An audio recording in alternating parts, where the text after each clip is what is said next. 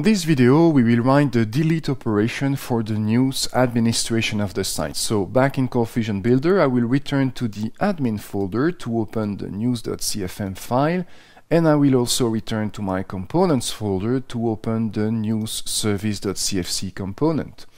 Now back to the news.cfm page, I will run it in the browser.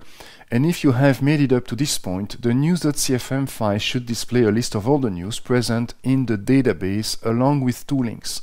You have the edit this news link and that opens a form that contains the current data of the chosen news and you can use that form to update the news. Now I will return to the main news page of the administration by clicking here on that news button. And there is a second link, which is delete this news, and this is the link that we will activate in this video. So let's return to ColdFusion Builder, and just after the cfadmin custom tag here, I will need to write some JavaScript. So I need the script tag of HTML, and inside of that script tag, this is where I write some JavaScript. I need to write a JavaScript function. The name of that JavaScript function is confirm delete and this function takes one argument which is the news ID argument the number of the news that you want to delete. Now in the body of that function I will need a if and I will also need for that if an else clause like that and in the condition of the if, I will need another JavaScript method, which is the window.confirm method of JavaScript. Now, window.confirm will display an alert to the user, an alert with two buttons, an OK button and a cancel button. If the user clicks on OK, the confirm method returns true and the code that we will write in the first part of the if will execute. If the user clicks on the cancel button, then the confirm method returns false and the code that we will write in the else clause of the if will execute instead. In the argument of the confirm method here, I need to specify the question that I want to ask to the user. And the question is, are you sure you want to delete this news? Like that.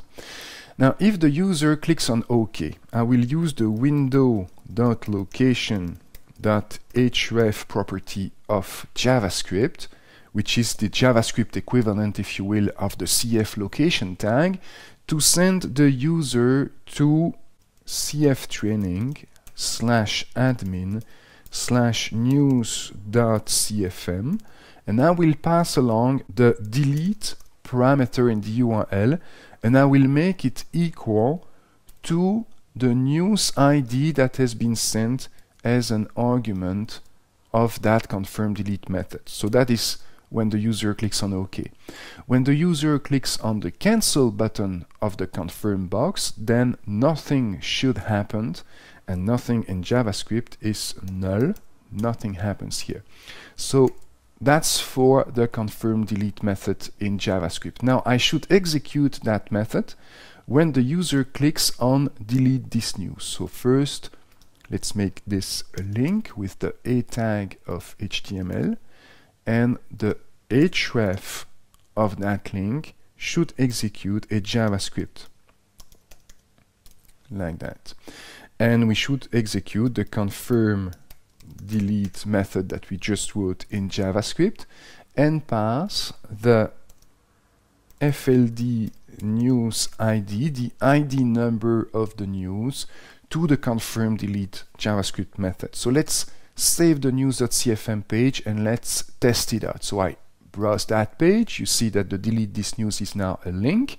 If I click on that link, you see that there is an alert box coming with two buttons, cancel and OK. If I click on cancel, nothing happens. And if I click on OK, then I am relocated to the news.cfm page with that delete parameter and the value of that delete parameter is equal to the ID number of the news that I want to delete. So let's return now to ColdFusion Builder and I will return at the very top of that page to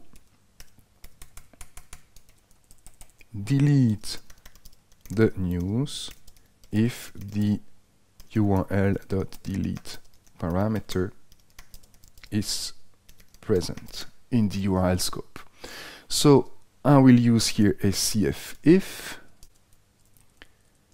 with the struct key exists function of Cold Fusion to check in the URL scope if the delete variable is present. And if it is present, I use cfset to execute the application dot news service component and inside of that component I need the delete news method and I want to use the URL dot delete parameter as the argument of that method. Now let's take a look at that method in the news service.cfc component.